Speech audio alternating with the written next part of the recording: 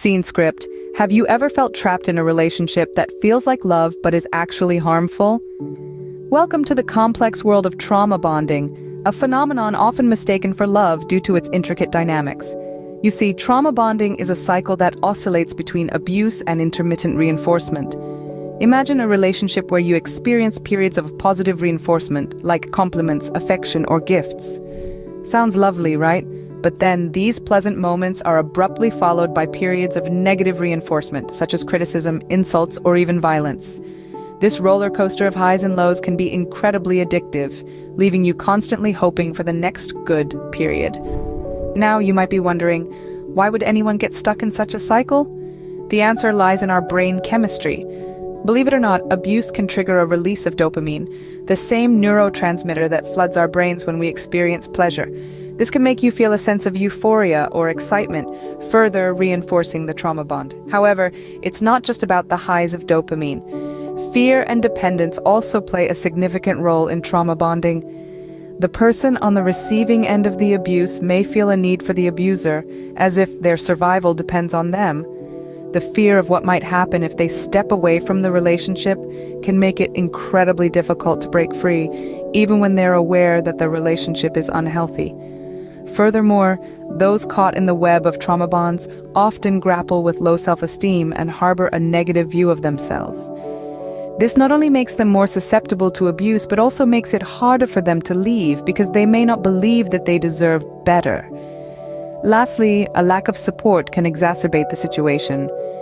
Victims of trauma bonding often feel isolated and alone, doubting whether anyone would understand or believe their story. Trauma bonding is a powerful and addictive cycle that can be difficult to break free from. But understanding its dynamics is the first step towards healing.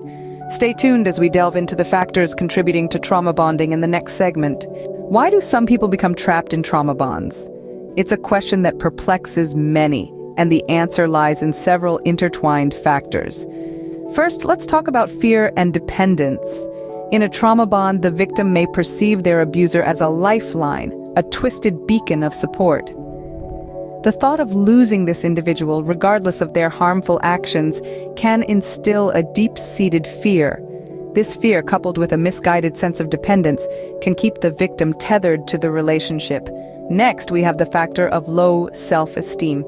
It's not uncommon for individuals in trauma bonds to harbor a negative self-image.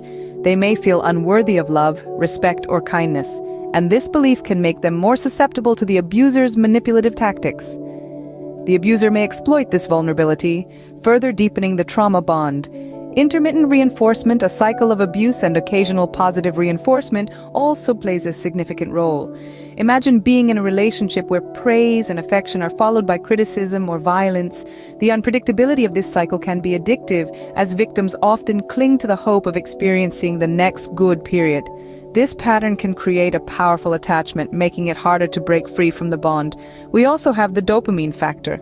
Surprisingly, abusive situations can trigger a dopamine rush in the brain, the same neurotransmitter released when we experience pleasure.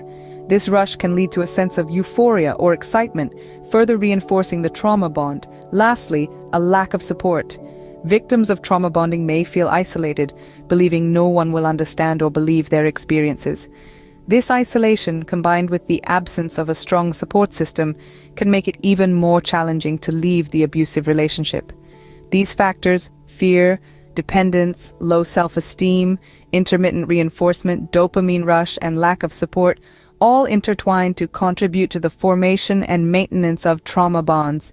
They create a complex web that can seem impossible to untangle. These factors can make it incredibly difficult to leave a trauma bond, but it is not impossible. If you're in a relationship that you suspect is a trauma bond, what can you do?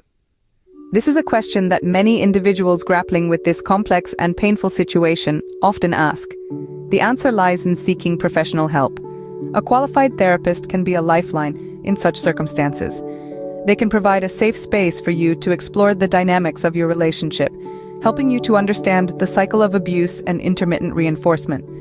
Therapists can also guide you in recognizing the role of dopamine in your relationship and how fear, dependence, and low self-esteem might be contributing to the bond.